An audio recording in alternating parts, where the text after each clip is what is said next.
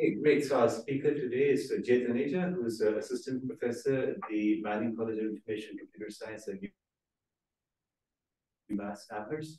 The STIMA Lab, which is developing sensing and communications technology on societal scale infrastructure systems, and in particular in developing regions, which is informed by the fact that he spent three years working in Kenya.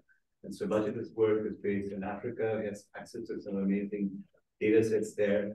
Um, and uh, he's been looking at a bunch of different things having to do with adoption of electricity and other uh, uh, technologies, I guess, broadly. And today he's going to talk about uh, remote sensing data for measuring the spread of buildings. So without further ado, uh, thank you so much, Jay, for giving this talk. We look forward to it, and it's all yours.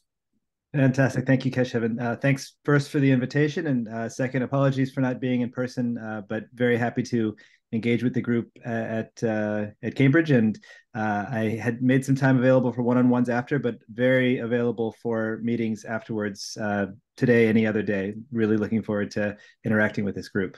Um, fantastic. So uh, uh, the the nature of this work today is really thinking about uh, how the the longer record of satellite imagery that we have can enable us to look at problems in energy and in uh, international development in different ways. And uh, I intend for this to be uh, a little bit about the method of how we we can use this uh, high resolution, long duration imagery, as well as uh, uh, hopefully a, a, bit of a um, a call to thinking about other ways to use this technique. we don't we we have kind of a small case study of how we used it by looking at the change of buildings, but uh, there's hopefully many more ways that um, that we can look at these these long this long record of images and start to learn more about um, the built infrastructure as well as natural infrastructure. Um, so uh, as a little extender on the the background that uh, Keshav helpfully provided, um, I can uh, a little background. I'm a computing systems researcher. Uh, my my background is uh, uh, after my graduate work, I went to uh, I, I, flipped things a little bit. I went to join IBM Research in their new office in Nairobi. I got to see the office grow from about eight people to about 40 people by the time I left, uh, and led a team working on energy there.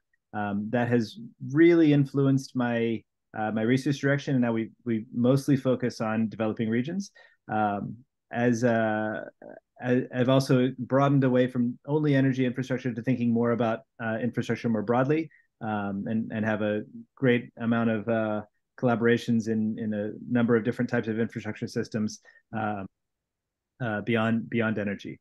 Uh, I've been at UMass since 2017 and uh, work with a variety of sensors and satellites and survey data in order to to understand uh, this this array of systems. Uh, so as a, a, brief overview of what my lab does, I run this the STIMA lab, the Systems Towards Infrastructure Measurement and Analytics lab, and uh, this is meant to to serve as just a very quick overview, uh, but should give uh, a potpourri of the kinds of projects we work on.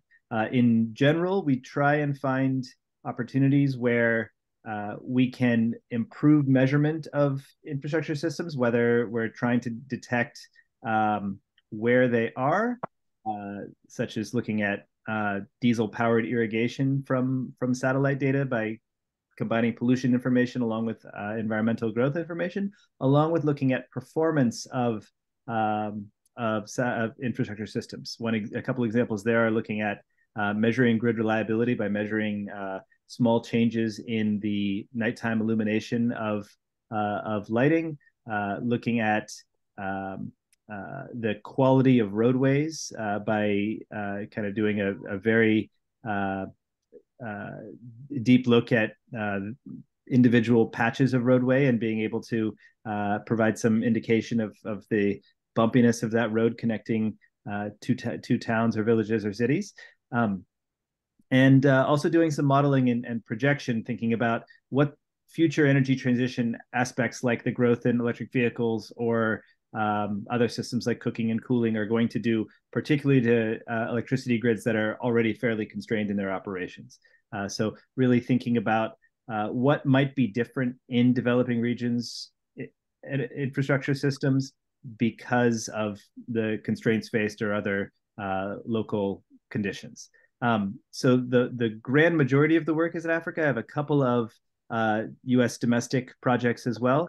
Uh, but again, the the through line is measurement and infrastructure. So having looked at outages in um, this large uh, outage event in Texas, as well as uh, looking at the sanitation system and trying to understand what the range of um, uh, of delivery services look like for each and every single property. So there's a heavy kind of data science um, perspective here, uh, and at the end, while measuring all this infrastructure and highlighting um, the the uh, service performance and and access to these things, there's uh, clear opportunities to understand equity implications of of infrastructure as well. Uh, can't do this without a fantastic team. This is just a subset of my team, but uh, we had a um, retreat last summer. Uh, but really, really wonderful graduate students, uh, primarily from the African continent. Just happy to assemble such a wonderful group and have people that are dedicated and focused to to this kind of work. Um, so this particular uh, work I'll speak today is based on an upcoming paper that we're going to present at ACM BuildSys, which is in November. BuildSys is a conference on the built environment, hopefully familiar to many of you.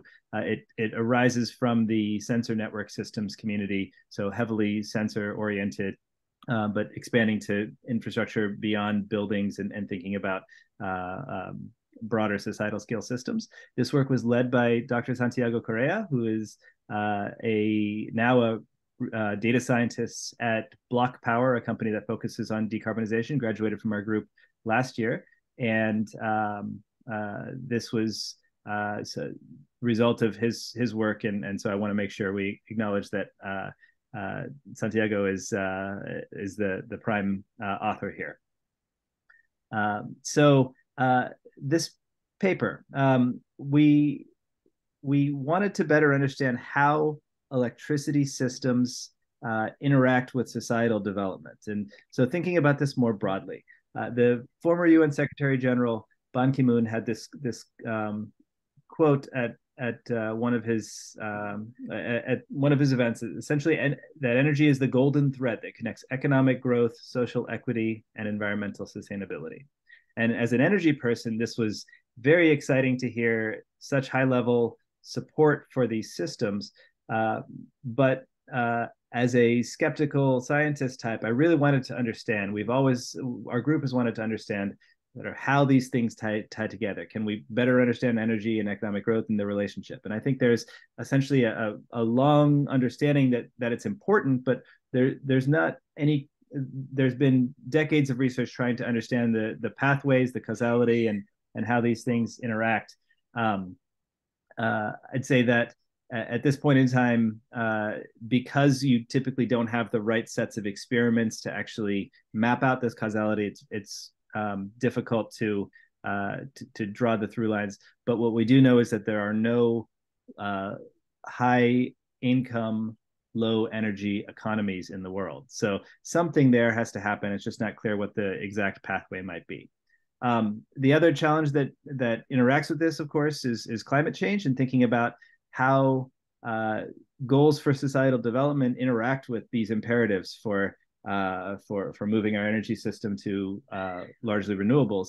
And uh, this this interaction is playing out in real time, seeing how uh, large scale investments are being pressured away from uh, from fossil fuels into into renewables, but how that interacts with other priorities that um, that uh, especially developing regions have around other um, around health goals and and other societal and income goals and other societal goals, uh, and it's it, remains kind of a uh, um, a, a, push and pull. Uh, in order to to achieve this, we'd love to think we can have our cake and eat it too, and in some cases we can, but we do have to be mindful that uh, it's um, it's important to consider uh, what the local priorities are versus what the global priorities are and how those two things may not always be in alignment when thinking about how infrastructure gets built and, and where things go. Um, so uh, some th this particular work, uh, narrowing down a little bit, um, we wanted to really understand how access to electricity uh, affects people. And um, in many cases, we we try and think about this at, at a larger scale. uh, we there are many ways to answer this question, um, social science methods and and quantitative methods uh, otherwise. But we wanted to really understand how migration is affected. Um, migration now is is certainly something we see over uh, years and decades. It's something we're likely to see more with with climate impacts, and we wanted to kind of better understand what that migration looks like relative to infrastructure. Uh, and and so one challenge there is how do we measure migration at scale? Do we have the right tools to actually um, assess this over years and decades? Uh, and can we do it in, in a granular enough way to really understand its its interaction with uh, infrastructure systems? Um, and so looking more deeply at the the techniques that are out there for understanding um, migration, uh, we we have to really wonder if they're accurate enough to trust. There's plenty of fancy data layers out there now that have really high granularity, but validation might be uh, a, a, consistent concern. And so, how do we uh, uh, get to validating what we actually find and what we what we produce? Um, so, for some context, much of the this particular research was carried out in Kenya. This is a setting where uh, I've I, I, lived for a few years and built a lot of collaborations and connections, and it's a really interesting setting for the mix between global um, globalization and international development and, and uh, energy systems in particular. Uh, so Kenya has had huge investments in expanding the footprint of electricity grid access uh, as it's gone from being a lower income country to a low middle income country and with, with goals of going to be a middle income country in the next five to 10 years. Um, this shows uh, two particular um, time periods, and this was based on decennial census data. So that's what, what governs the uh, timing. This is about population density, and this is meant to give some context about Kenya. Um, Kenya is about 50 million people. Uh, the bulk of the population lives in the southwest quadrant of the country. So this is actually due to elevation, and um, the southwest quadrant's at high elevation, about 2,000 meters, uh, while the rest of the country is at much lower elevation and, and um, uh, quite sparse. Um, there's coastal uh, uh, depth as well, coastal uh, density as well. So this is meant to give an idea of where the people live, and particularly the middle graph is about understanding. Middle plot is about understanding where change is happening, where um, in this ten years uh, people moved and, and and moved around quite a bit. Um, in essence, we see substantial change percentage-wise in the roughly unpopulated uh, north and northeast region, um, and we see a lot of movement happening everywhere uh, both movement as well as growth. So, uh, as, as context, the population for Kenya changed um, uh, substantially, uh, two to three percent per year uh, during this time frame. Uh, at the same time, the infrastructure systems are changing as well. this is based on data from the Kenya National Utility, Kenya Power and Lighting Corporation, who have been close collaborators and, and supporters of our research for a long time.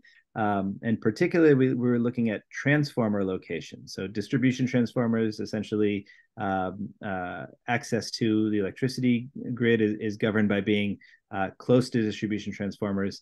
Uh, in practice, uh, the utility sets a 600 meter um, boundary around each transformer and says that they will uh, provide electricity connections at, at, a flat rate within that and um, a variable rate outside of that. So generally you see connections within that 600 meter radius of, of transformers. The left graph shows where transformers were uh, located in 2008. The right graph shows where they were located a decade later. Um, and so we can see where the, the preponderance of changes in this setting. It's it's primarily in this dense southwest quadrant of the of the country, uh, where we see a lot more transformers popping up, essentially serving um, where the bulk of people are. Um, so we, we can get an idea of where, where the change is. Uh, so um, understanding how this this change in, in people and the change in infrastructure, how these things interact, uh, we wanted to see what we could leverage from the best data sets that are out there on population. And uh, among those, uh, particularly longitudinal data sets, so ones that are are uh, produced frequently. Uh, the best we could find was World Pop. World Pop produced at University of Southampton. Um, it provides 100 meter by 100 meter uh, population estimates on a yearly basis. The challenge with this is that this model heavily interpolates. It it pulls from uh, the the ground truth census information and it distributes population within administrative regions based on that. Uh, so what you largely see when you drill down in, in many settings is linear growth based on percentage changes, but not necessarily uh, any estimates of kind of where pockets are happening and, and variable rates within these 10 years, uh, as an example. Um, what what we wanted to do in order to better understand particular bits of migration is really understand uh, how that that detail works uh, and uh, one indicator of this is actually the spread of buildings, really being able to see where new buildings pop up. Uh, in this regime, in this setting, um, we don't have we have this assumption that there are fewer buildings that are decaying and going away over this time frame, but plenty more that are growing based on the growing population. Uh, and so, while we don't necessarily have an indicator of negative migration, we perhaps have an, a, an indicator of positive migration where new buildings are popping up. Uh, and particularly when considering electricity systems, uh, there's this in- interconnection between uh, the expansion of the, the grid as well as to where it expands into, into new buildings. Um, and particularly as part of this, we have a, a now lengthy enough satellite imagery record uh, that lets us see these changes. And you know, you need this mix between um, uh, a long enough record and a high high enough resolution or high enough detailed record to actually get at this and, and we feel like we're at that stage now um, one thing I'll also say, uh, I would love questions throughout. Um, this is meant to be a, a very um, discussion-oriented uh, presentation, so feel feel welcome. I know the remote uh, setting doesn't make that always as easy, but I, I do not at all mind being interrupted. Uh, so thinking about what makes this record available. Uh, we and available for analysis. We have these two important uh, contributors, uh, likely familiar to everyone in the room. But uh, first, we have uh, a uh, what we require is high resolution satellite imagery. And when we say high resolution, here I'm talking about imagery that's uh, somewhat better than a meter per pixel of um, of imagery. for context, when we think about counting objects, uh, as, a, as a rule of thumb, we can think if you have something like six pixels um, of, of an object, it's it's more or less countable. So if we think about that meter resolution and six pixels, that's kind of a two by three um, meter object, like a car or uh, anything larger than that. Uh, you you should be able to count it with that one meter resolution um, uh, imagery. Uh, but as we kind of get increasingly better generations of satellite imagery, we're getting increasingly higher resolutions, uh, which allow us to count smaller and smaller objects. Um, and typically, imagery now that is populating free sources are uh, at about 0.3 meters or, or lesser if you get to um, denser areas, even 0.15 meter resolution uh, imagery.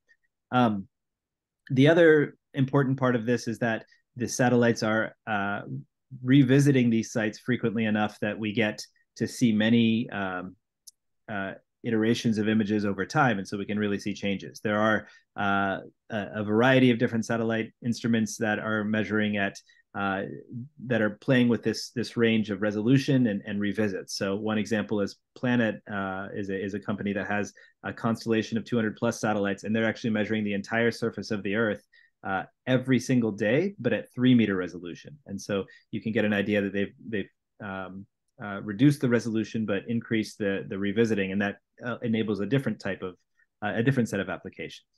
Um, in addition to this change in, oh please. Quick question here about the satellite, the high resolution satellite. So typically, kind of the work that we do here, we do a lot of satellites, but those are at resolution much more coarse. 10 meters typically what we get for free. Now, when you talk about sub-meter or even meter resolution, are these available for free? So uh, this is this is great. Um, some of them are, and some of them uh, we have figured out ways to make them free. And I'll actually talk about one of those today, and that's uh, uh carefully chosen verbiage. I'll, I'll uh, explain a little bit more about that. Um, but uh, as examples, um, Planet imagery is not free, but it is available at a significant discount to academic um, collaborators or academic users. Uh, the the pricing here, at least I can just share that because it's it's hopefully relevant. Um, you can get 15 terabytes of imagery for 15,000 US dollars per year, uh, and uh, the the cost per square kilometer ends up being far less than one cent. uh, which is is quite good. Uh, it's a significant upfront investment, but if you have enough different applications, uh, it can be quite worth it. Um, commercial high resolution imagery can be quite a bit more expensive. Um, we have seen everything from 10 cents per square kilometer all the way up to um, a dollar fifty per square kilometer. Uh, and that has to do with with um, uh, discounts. That has to do with, and this is for academic purposes. Uh, that has to do with um, the uh, uh, changes in in recent pricing. That has to do with uh, the the freshness of the the data product, so on. Um, but it, it, can vary. That that adds up quite quickly, and so uh, that's not quite as uh, as relevant. Um, but uh, what I'll talk today about is actually a, an imagery data set from Google Earth Pro that uh, we've actually figured out how to leverage, and I'll explain more about that.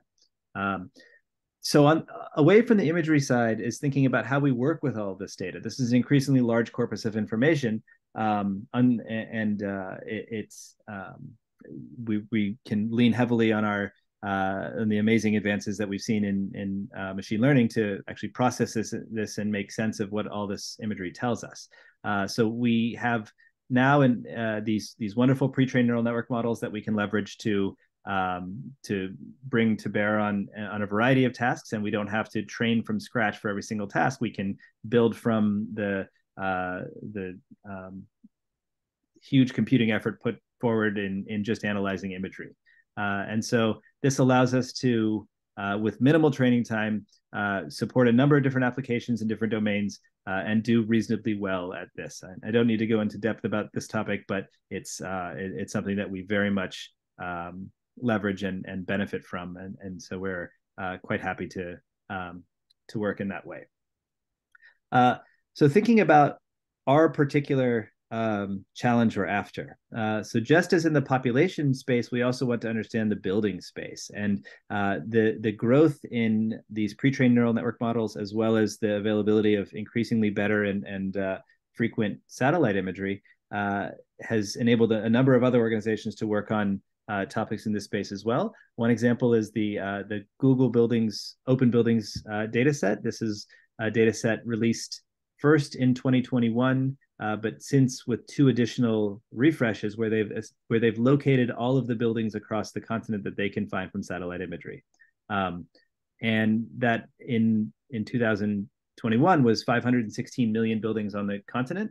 Uh, s- since they've now expanded to uh, South and Southeast Asia as well as South America, so they've got this huge corpus of, of buildings. These are not just dots, but these are actually footprints. So you get an idea of the uh, exact coverage of the buildings. Uh, they do release some information about validation. Performance is strong, though there may be some bias to uh, buildings with non-natural roofs. If you think about um, mud and clay and, and other uh, uh materials that might match the landscape, these would be harder buildings to find. Uh, these are only footprints. This does not include the associated imagery, so there is sometimes challenge with aligning the building footprints with other imagery data sets.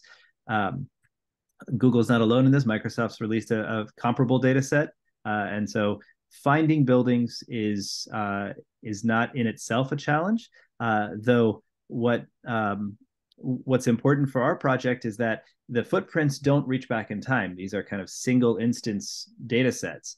Uh, and so um, while we can't necessarily uh, look back 10 years with the with the available data sets, the data sets that are that um, are out there can be useful for model training with the caveat that you're using a learned data set in order to um, train a, a, learning model to find uh, footprints in um, in uh, in images, and so there there's uh, kind of an crude error that comes out of uh, out of those uh, procedures.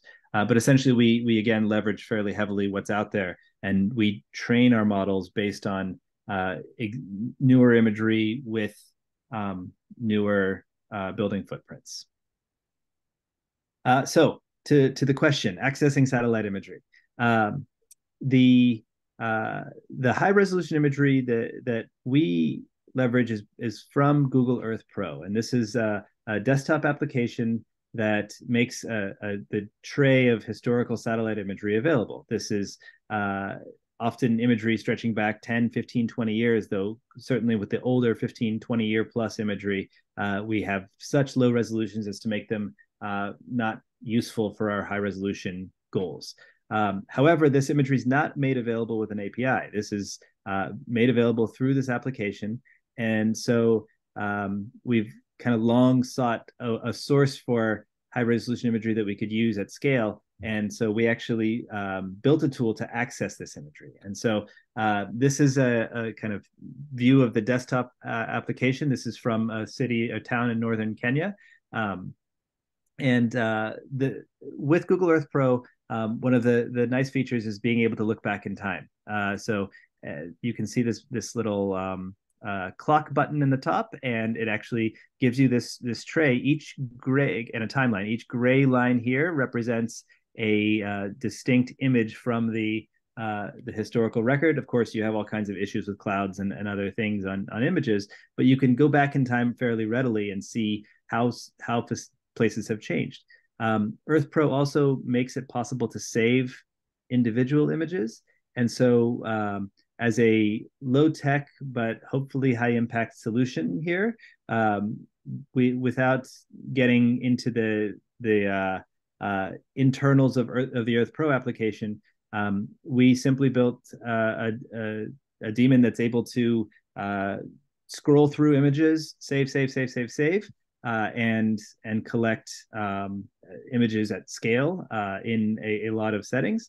looking at the license terms here. Uh, we don't immediately find anything where we're um, uh, violating, so we are uh, quite happy to, you know, especially for for research purposes, um, access this, and and it provides this wonderful library of uh, of high resolution imagery going stretching back in time.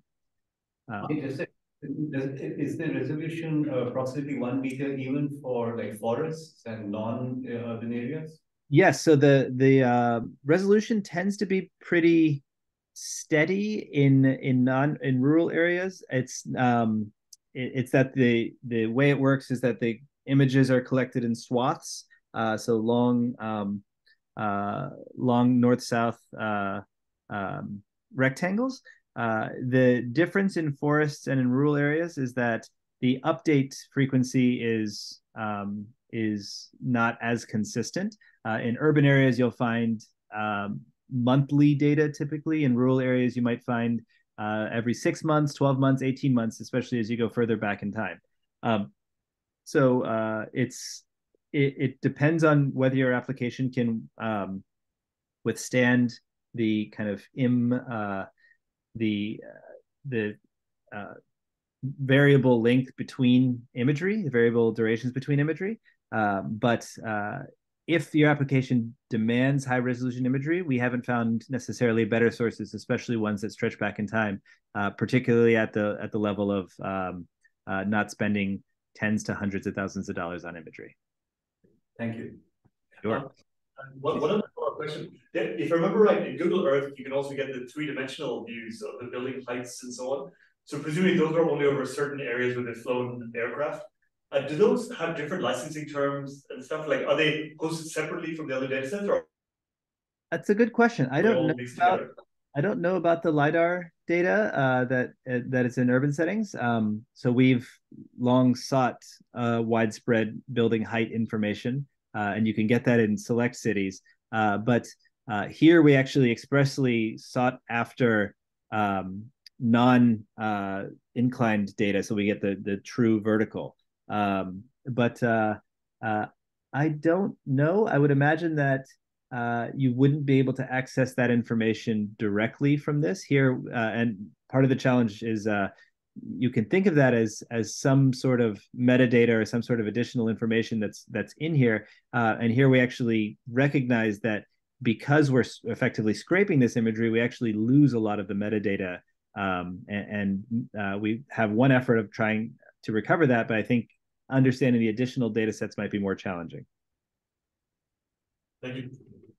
Um, so thinking about what this historical imagery uh, presents for us, uh, you have, uh, since you're working with a complete record here, you have uh, plenty of of natural artifacts, cloud cover, shadows, fog, things like that, and plenty of artificial artifacts um, that arise from the the instrument itself or or uh, other other challenges with that that setting. Um, so blur, color accuracy, uh, co- coloring, things like that.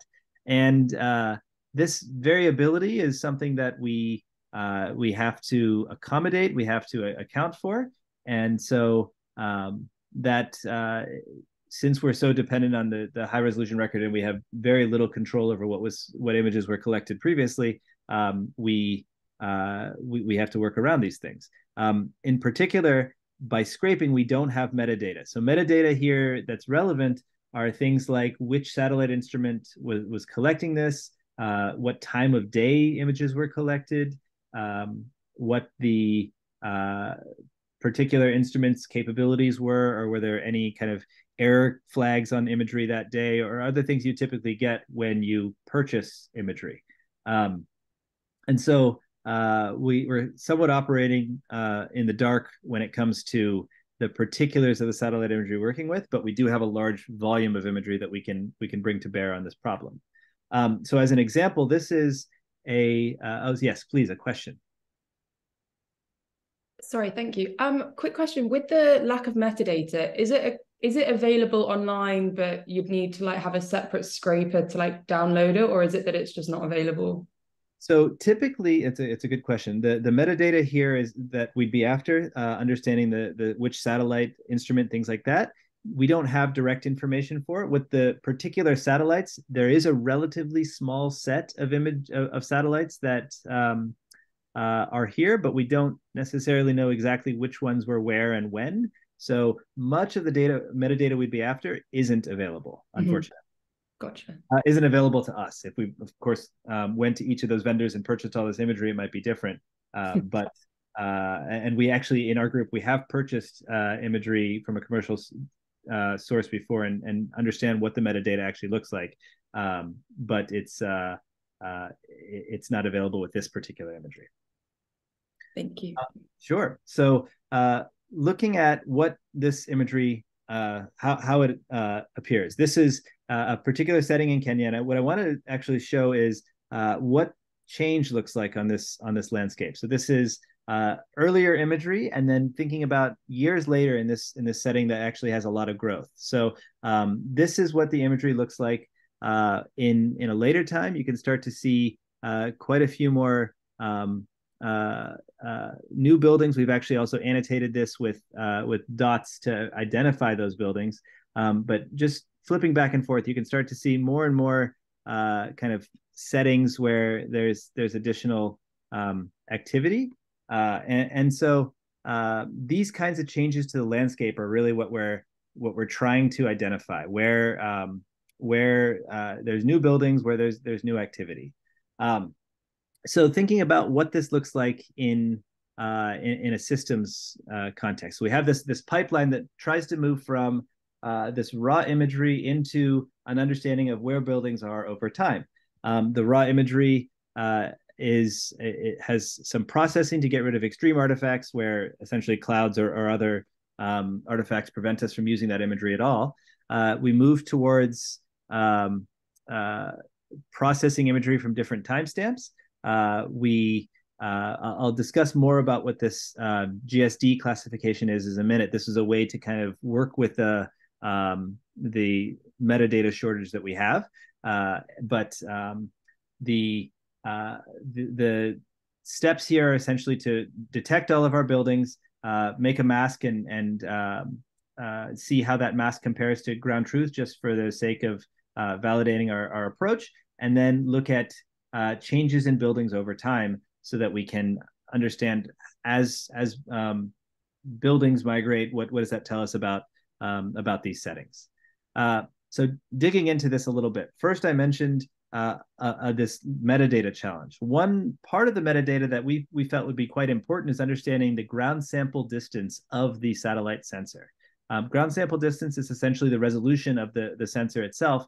The challenge with this is that the image that we get from Earth Pro is actually you you can ask for different resolutions of that image. So all they're essentially doing is resampling the underlying image uh, and providing you a, a, higher resolution image likely. So with the higher resolution image, you don't immediately have the resolution of the underlying uh, object uh, underlying image, but by looking at object sizes and and other characteristics of the underlying image, we wanted to understand what the ground sample distance was. We figured that ground sample distance would be an indicator of the satellite, and we wanted to see if we, instead of training over a um, a unified data set that actually had images from many different satellites, if we trained individual models for each satellite, would that improve our performance at building detection?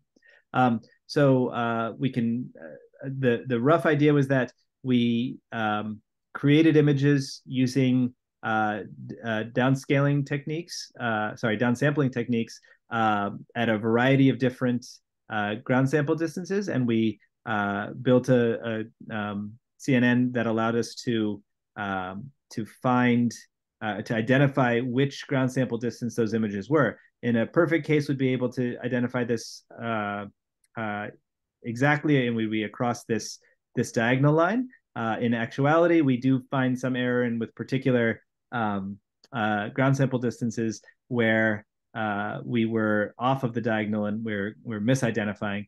But in practice, we this this performed reasonably well enough that we thought, okay, we can now take any image we find, identify the likely ground sample distance uh, of that image, and then train models specifically for a variety of ground sample distances. In practice, uh, the range of actually of labels in our um, uh, that we inferred were primarily sub one meter. So in in this region, the kind of 50 to 80 centimeter region of um, uh, of this confusion matrix. Uh, but we wanted to see just broadly how well this technique work.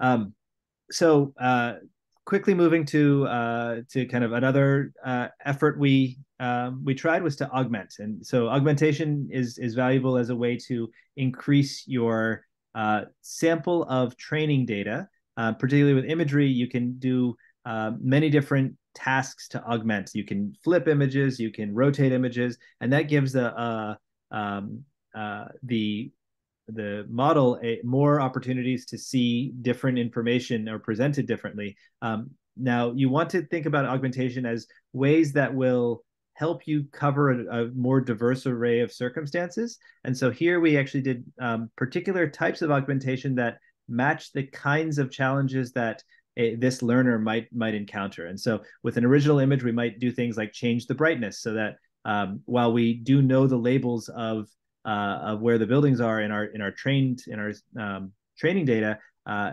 having a the same image but have uh, you know a darker circum set of circ- set of circumstances um, could be useful for understanding when when you get darker images. Uh, we jittered colors, so we we changed the, the color ranges. We blurred images.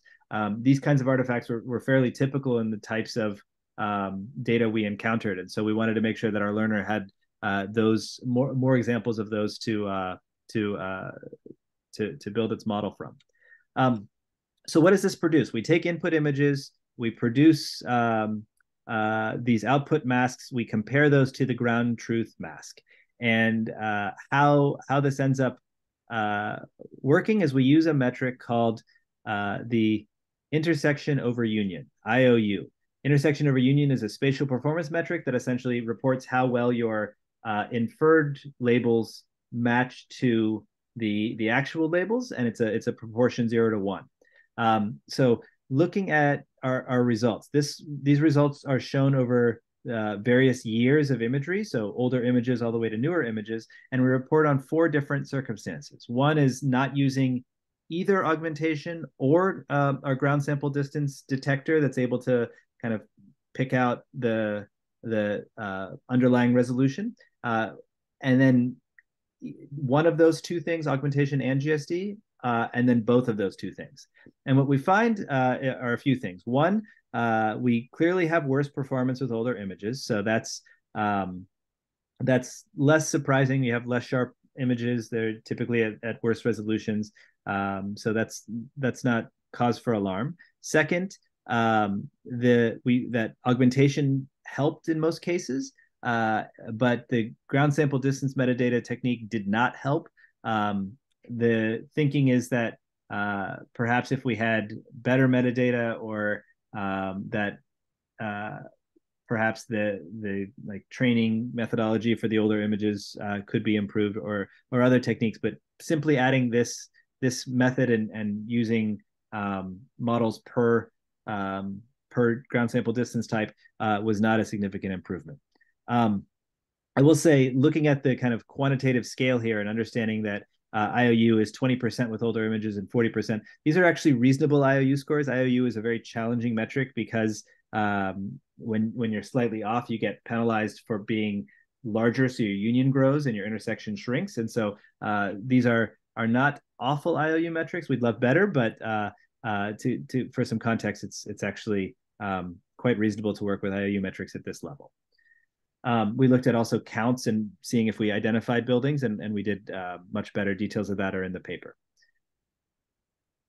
Um, so uh, now that we've kind of built up a technique that can look and, and count these, we want to understand how we might use these uh, these um, uh, inferred uh, building locations. And so, uh, as a as a case study, we wanted to to understand with a um, with this uh, ability to look at, at buildings over uh, a decade, can we start to relate this to to human behaviors? And particularly, we have we, we wanted to understand how electricity access uh, either attracts or uh, affects um, the the change in in buildings. Um, now we can't necessarily do this with with perfect causality because we don't have uh, you know contemporaneous surveys or, or randomized control trials to do this. Um, but we uh, employ a technique called difference in differences. Difference in differences is an econometric technique that uh, aims to uh, create um, a, uh, a kind of before and after data set using uh, a, a, natural experiment, a natural experiment that shows essentially um, some variable in the uh, some intervention that occurred, and you take two what you hope to be are um, uh, equivalent sets at, at the beginning of that time period and then uh, see how change occurs over the, the duration. And so in our case, we took a thousand locations, one one kilometer squared locations, roughly the footprint of a um, uh, of a, a, transformer, and we looked at uh, a thousand locations that received electricity access and a thousand re- locations that were matched to those locations that did not receive electricity access during this time.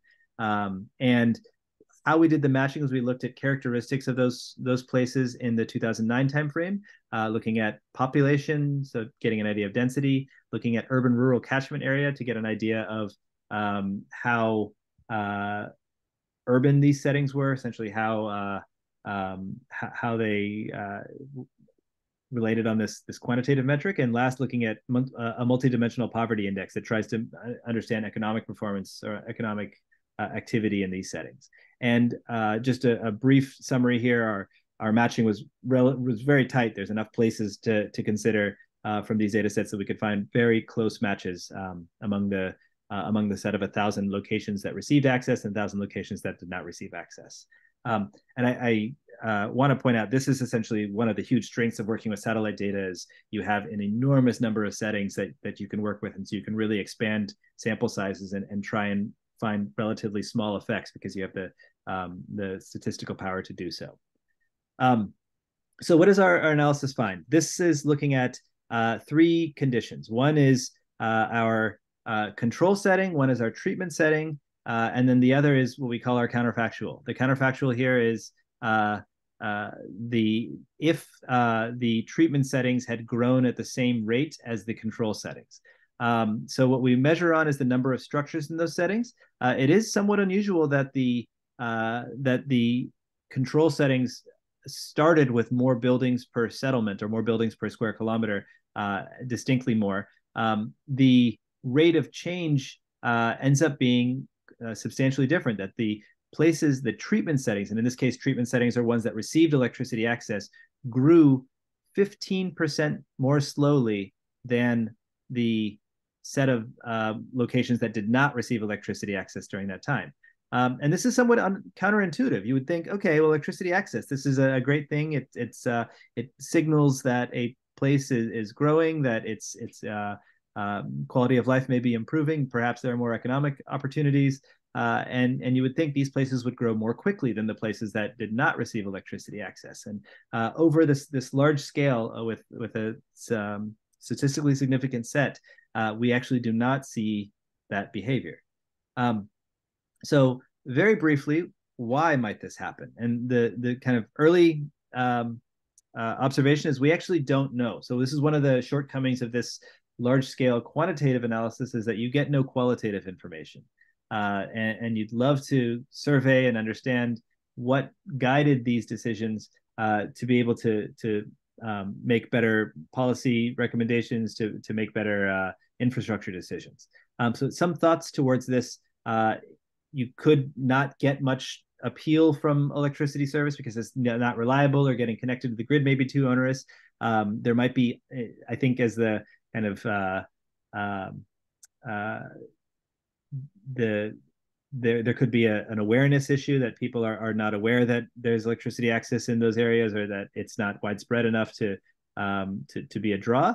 And uh, the one that pains me as a somebody who's focused on electricity for so many years is that it just may not be as appealing as other factors. Um, it could be that labor opportunities are uh, are not necessarily connected to electricity access uh, in the same ways. It could be that um, it simply isn't enough of a draw compared to uh, the the things that keep people in at, at home otherwise.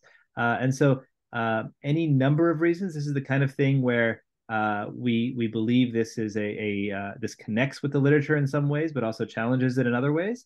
And um, we we're happy for this to be kind of a, a, jumping off point for the kinds of techniques that we can, uh, kinds of questions we can answer with a technique like this by looking at uh, a large number of um, of circumstances and, and looking at a, a, a wide array of questions. Um, Lisa. There's a really simple explanation, which is that the electricity will be provided to areas which have a lot of settlement already. And so there's less room to grow, right? So you want to have more activity there because there's less room to grow, whereas the electricity will not go to places that are undersettled because there's not enough of the catchment area to pay the price for the for the deployment. And so there is So um, it's a it's a great hypothesis. The room to grow bit, um, I can understand the the difficulty of connection, whatever else, but room to grow. These tend to be less dense settings. Like the the treatment settings are less dense than the settings that, uh, as far as number of structures per unit area, um, and so there there likely is available land. Uh, we could look at the sizes of buildings and, and compare, but I don't know if that's going to. Um, uh, my, my, intuition would be that that wouldn't um, be vastly different in these settings. So, as far as space to grow, perhaps maybe value of land or other things like that that prevent um, uh, growth into these spaces uh, very well could be a, a deterrent. Um, but uh, uh it's it's a fine hypothesis. The challenge with this is that without the the kind of detailed information you get from talking to people, it's actually hard to um, fully validate any many of these hypotheses. On, on, on, a similar note, how do you uh, determine the set of variables that go into the matching of this? Ah, so the the so there could be lots of yes. Um, so in particular here, we looked at population, urban rural catchment, and multidimensional poverty. Um, here, this was a little bit bespoke in that we were uh, bound to uh, characteristics where we had longitudinal data, and here we we kind of stuck with um, ones that tell us about the the people and the economies in these settings. Uh, we certainly could have tried others, and perhaps for robustness, we ought to to to see if the same conclusions come if we try a different set of um, of, these. But uh, typically, ones that are spatially available in rural settings from the last 15, 20 years isn't that large of a set. No, so I was wondering about uh, night lights because there's quite a lot of night light data sets from space. That might be one that is a proxy to electricity as well. Sure. So night lights is a is a good one. Um, it, we it gets used for all sorts of different uh, purposes in in understanding rural economies. Uh, these were all unelectrified settings in 2009. There's essentially nil night lights in almost all of these settings at that point. So we wouldn't have been able to to differentiate um, uh, between the two types of settings very well. Um, uh, please. Oh, sorry, um, uh, it'd be interesting. Do you, do you have any information on the sort of poverty index at the end of the um, ten-year period and whether they're still similar? Yeah, that's a good um, that's a good question. I did. Uh, we can we can see uh, how that uh, varies at 2019. Um, we did not look at that, but uh, if if that shows any difference, that might be an indicator that uh, other things may have changed, but not necessarily. Um, uh, it might not have to deal directly with with electricity. I think one of the larger pieces of this connects to um, this this golden thread idea that energy ties a bunch of things together. In some ways, yes, you have to think of all of the inputs that you need in order to grow the energy, but electricity access by itself uh, isn't necessarily there. And electricity is also just a subset of energy. Uh, there are other kinds of energy that are that are quite relevant and perhaps more relevant here as well. Um, and so uh, I I would imagine that the poverty index as a kind of um, something that shows the the true tying together of uh, of functioning economies uh, might have a, a, better indication. So it's a really good suggestion to to go look at that 2019 value of multidimensional poverty index. The reason I ask um, is, I guess, my intuition on the explanation of that divergence in many countries, and particularly in Kenya. I don't know exactly where your location is, but um, you have some people, poor people from rural communities coming to urban areas. They will initially the parts of land which aren't really going to have electricity. So you might see a huge expansion of informal settlements in the areas that don't have electricity. The, the rich areas that do have electricity will become more formalized, more expensive to go to. So that's why they have a slower growth rate in buildings. So it'd just be interesting, like maybe at the beginning of the 10 year period, they were similar in terms of poverty um, rates, but maybe at the end they've drifted and become so structurally different. Yeah, I think the the kind of notion of migration and, and urban migration is a very, very kind of challenging one in that there's various flows of this. There's moving from true rural hinterlands into third tier cities, third tier to second tier cities, second tier to um, first tier cities, the growth in informal settlements and slums, and and all of this like it's they're they're all thought of as urban rural migration, but really they, there's different drivers, different um, different circumstances. There's seasonality to this as well. Uh, it it becomes a very very challenging um, uh, landscape. We actually have some ongoing work in the in 26 informal settlements in Kampala uh, to understand electricity challenges. And there we are employing surveys and, and sensors uh, to better understand the, the energy systems. But uh, uh, yeah, it's it's difficult to paint with such a broad brush. Here we we focused on places that were um, deep rural, so we stayed generally not deep rural, um, consistently rural. So we stayed away from uh, peri-urban centers around large cities, things like that. We we focused on places that had um, relatively uh, lower population densities than what you would see around cities.